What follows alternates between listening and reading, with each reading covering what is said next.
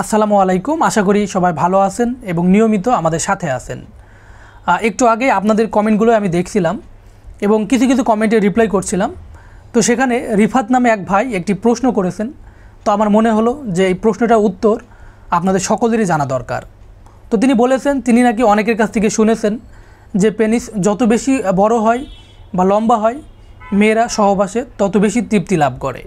এই কথাটি কতটুকু সত্য, সেটা তিনি জানতে চেয়েছেন। প্রিয় দর্শক, আপনি যে কথাটি অনেকের কাছ থেকে শুনেছেন, সেটা একদমই ভুল শুনেছেন। এ ধরনের ধারণা যারা করেছে, তারা আসলে ভুল ভেবেছে। পেনিস বেশি বড় হলে যে মেয়েরা সহবাসে বেশি স্যাটিসফ্যাকশন হবে, এই কথাটি আসলে পুরোপুরি সঠিক নয়। সহবাসের সময় শুধুমাত্র পেনিসের সাইজের উপর একজন মহিলার তৃপ্তি বা আনন্দ কখনোই ডিপেন্ড করে না।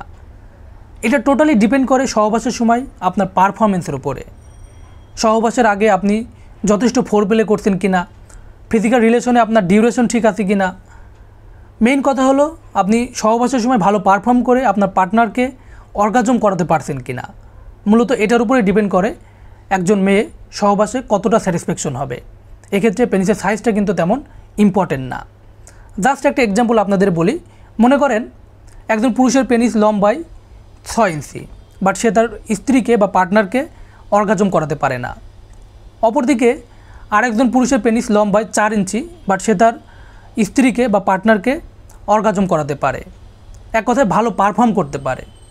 তো এই এক্সাম্পলটার পরিপ্রেক্ষিতে কিন্তু বলা যায়, মেয়েদের কাছে সহবাসের সময় পেনিসের সাইজটা কিন্তু মূল উপযোগ্য বিষয় না।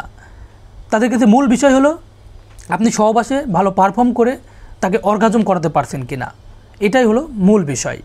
তবে এখানে একটু বলে রাখি, সহবাসের সময় মেয়েদের অর্গাজম করানোর জন্য সাধারণত সাড়ে তিন ইঞ্চি থেকে চার ইঞ্চি পেনিস হলেই যথেষ্ট।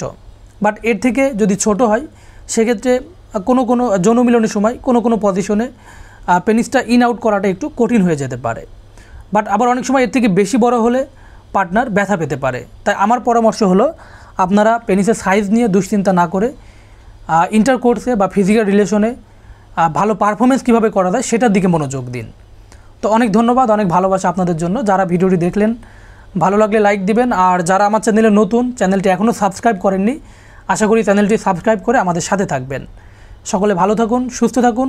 আল্লাহ হাফেজ।